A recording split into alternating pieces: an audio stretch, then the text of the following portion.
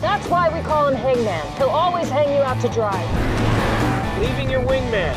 There's a strategy I haven't seen in a while. He called you a man, Phoenix. You gonna take that? So long as he doesn't call you a man.